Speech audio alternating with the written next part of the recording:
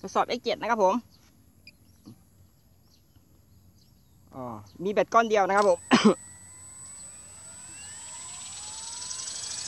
ตอนสตาร์ทเริ่มแรกมันจะอ่าสะบัดสะบัดนิดๆนะครับ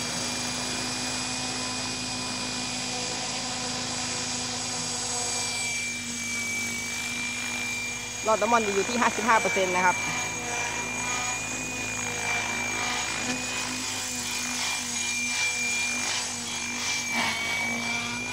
เดี๋ยวเกนหางดีนะฮะ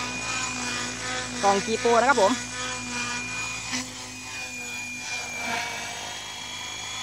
เลือดหนึ่งอยู่ที่หกสิบนะครับตุยตุยฮะตุย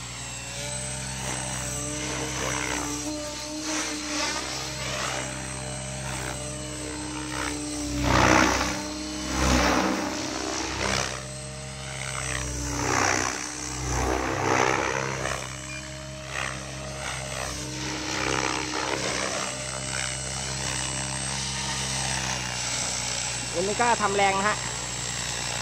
ว่าอยู่ขั้นตอนเทสอยู่นะครับผม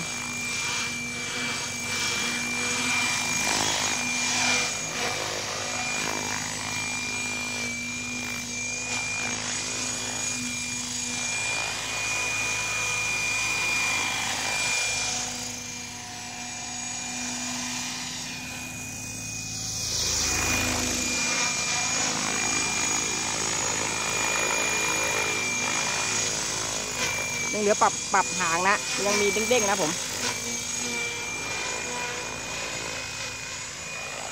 แบตก็จะหมดแล้วนะ